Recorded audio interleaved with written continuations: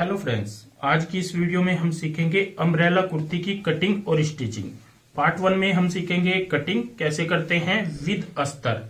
तो ये है हमारे पास अस्तर, जो कि तीन मीटर होगा, और ये है हमारे पास मेन फैब्रिक ये भी हमारे पास तीन मीटर होगा।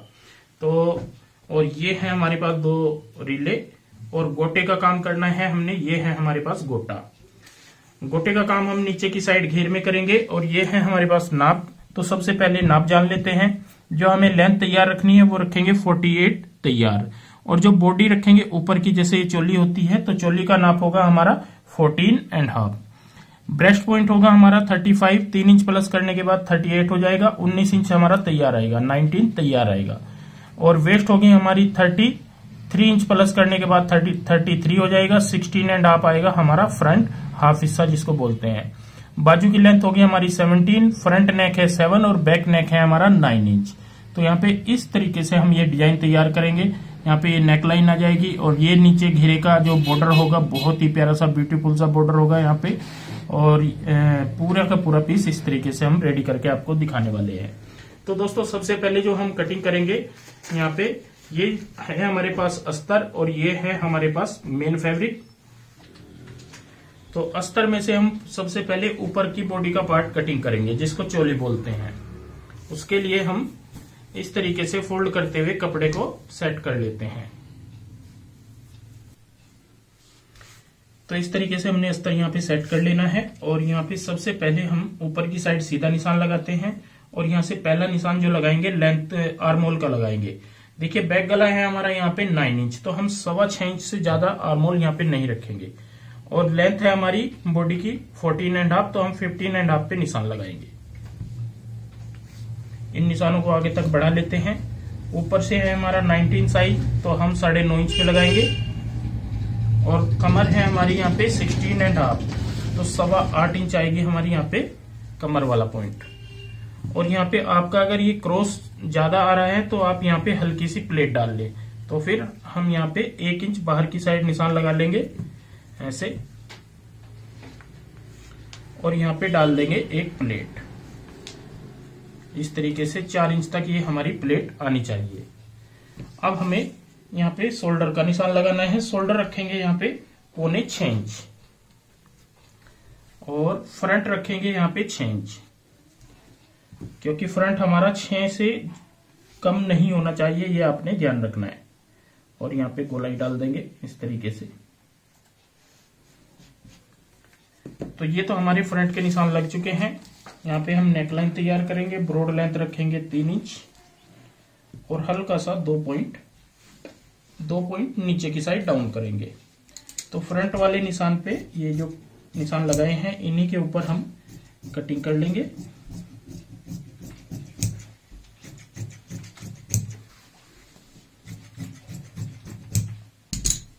तो ये हमारा फ्रंट कटिंग हो चुका है, अस्तर वाला।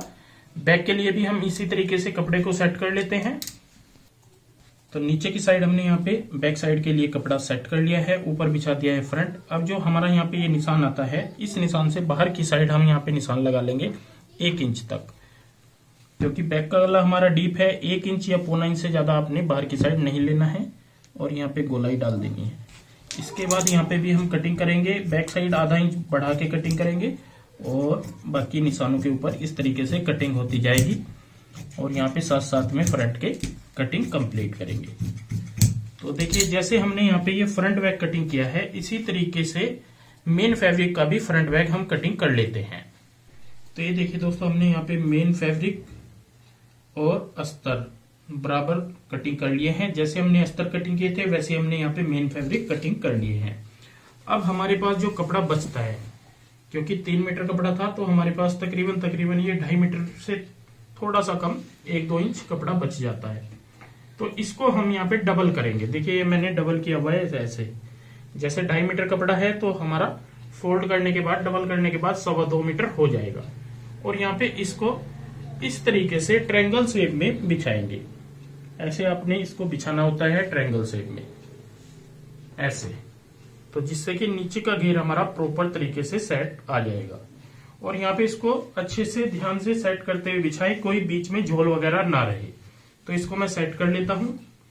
तो ये देखिए दोस्तों, हमने इस तरीके से ट्रायंगल शेप में पूरा पीस सेट कर लिया है। इसके बाद हमें यहाँ पे ऊपर की साइड जो हमने फ्रंट कटिंग किया है, इसमें से एक अस्तर लेना है फ्रंट वाला। और इसको यहाँ पे इस तरीके से रख लेना है, ऐसे। यहाँ पे ऐसे रख लिया है और यहाँ पे लगा लेंगे एक निशान इस तरीके से। और यहाँ से ये हमें लेंथ चेक करनी होती है। तो सबसे पहले हमें यहाँ पे ऊपर का भाग कटिंग करना है। तो यहाँ पे जितना भी हमारा ये आता है, जैसे थर्टीन है तो ये थर्टीन पे यहाँ पे ऐसे आएगा। और थर्टीन पे ही हमें इस तरीके से गोलाई में निशान लगाना होता है।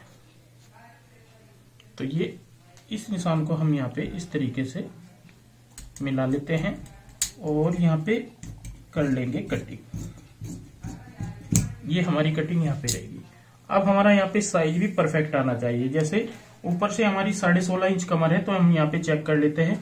तो ये बिल्कुल ठीक आएगा और आगे का यहाँ पे मार्जिन भी हमारा रह जाएगा। इसके बाद हमें यहाँ पे लेंथ नापनी है। तो लेंथ नापने के लिए फिर से हम यहाँ पे इस तरीके से ये रखेंगे ऐसे।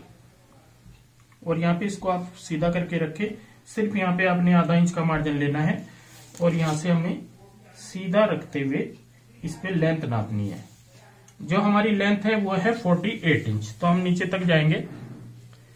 यहाँ पे 48 यहाँ पे आता है, लेकिन हम इसका तीन इंच कम रखेंगे नाप में, क्योंकि हमें चार से साढ़े चार इंच का लगाना है बॉर्डर तो हम 45 लेंगे यहाँ पे। इस तरीके से 45 पे निशान लगाएँगे। अब हम फ्रंट को यहाँ पे हटा देते हैं। और इस पीस को भी हटा देते हैं और यहाँ से देखते हैं, ये हमारा आता है थर्टी इंच तीस इंच का। तो ऐसे ही हल्का हल्का यहाँ पे गैप लेते हुए तीस तीस इंच पे निशान लगाते जाएँगे। और इन निशानों को भी एक दूसरे से जोड़ लेंगे। ये हमने पूरा कंप्लीट निशान लगा लिया है।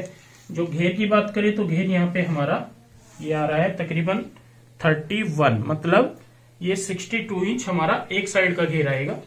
तो बहुत ज़्यादा घेर हो जाता है ये, खुले में माना जाता है। इन्हीं निशानों के ऊपर हम यहाँ पे कटिंग कर लेंगे। तो ये देखिए, नीचे का घेर हमने यहाँ पे कंप्लीट कटिंग कर लिया है। अब आपको मैं बता देता हूँ यहाँ पे एक ऊपर वाले पल्ले हम इस तरीके से हटा देते हैं। नीचे वाले पल्लों में कई बार जोड़ आता है। जैसे यहाँ पे हमारा जोड़ नहीं आ रहा है तो बिल्कुल ठीक है, कोई दिक्कत नहीं है। लेकिन कई बार यहाँ पे जोड़ आता है तो आप ये ना सोचे कि यहाँ पे जोड़, बिना जोड़ के हम निकाल पाएँगे। तो जो लेंथ हमारी जैसे ज़्यादा होती है या कई बार अर छोटा होता है कपड़े का तो यहाँ पे जोड़ लगते हैं तो वो आप लगा ले, ये ध्यान रखना है। इसी तरीके से रख के हम अस्तर जो होता है, अस्तर भी कटिंग कर लेते हैं। उसमें हमें थोड़ा यहाँ पे इसी लेंथ में अस्तर कटिंग करना है, क्योंकि इसमें बॉर्डर लग जाएगा हमारा चार से साढ़े चार इंच का। तो जैसा ये सेप है हमारी सेप सेम इसी तरीके से हम अस्तर को भी कटिंग कर लेंगे। तो ये देखिए दोस्तों, हमने यहाँ पे पूरा पीस ये कंप्लीट कटिंग कर लिया है। और यहाँ पे नीचे की साइड में आपको दिखा दो, ये होगा हमारा अस्तर। अस्तर की चौड़ाई थोड़ी सी हमने यहाँ पे कम रखी है। और बाकी हमारा जितना भी खुला यहाँ पे पीस आ सकता था, हमने पूरा का पूरा यहाँ पे घेर के साथ में अम्ब्रेला जो कुर्ती होती है, वो कटिंग करके आपको दिखाई है। इसके बाद हमें एक चीज़ का यहाँ पे ध्यान रखना है। जब हम ये पूरा चोली कटिंग कर देते हैं और इस तरीके से बिछा लेते हैं तो हमें एक निशान लगाना है यहाँ पे इस तरीके से। ये लगाएँगे हम पौना इंच पर। और ये जो प्लेट वाला निशान होता है, यहाँ से हम हल्की हल्की सेप देते हुए इसको कटिंग करते हैं। क्योंकि ये वाला जो कॉर्नर होता है, ये वाला कॉर्नर नहीं तो नीचे की साइड झुकता रहता है। और ये पॉइंट अगर आप यहाँ पे ध्यान रखोगे अमरेला कुर्ती में तो आपकी ये प्रॉब्लम नहीं आएगी और प्रॉपर तरीके से आपकी फिटिंग सही आ जाएगी। अब हमारी जो सिलाई आएगी यहाँ से, कुछ इस तरीके से आ जाएगी। और इसके बाद हमने बाजू भी कटिंग कर ली है। बाजू का सिंपल नॉर्मल तरीका होता है, जैसे कटिंग करनी होती है। आगे से हमने यहाँ पे रखी है खुली क्योंकि आगे डालनी है लास्टिक तो दोस्तों, पूरी कुर्ती मैंने यहाँ पे आपको कटिंग करके दिखाई है।